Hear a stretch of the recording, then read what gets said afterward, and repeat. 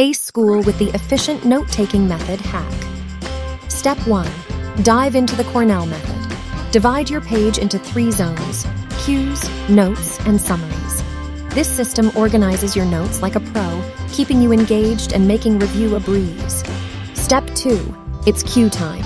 Jot down keywords in the left column. Then, in the notes section, capture the juicy details of the lecture. Finally, create a powerful summary at the bottom, ready to boost your memory. And now, for the final step elevate your study game.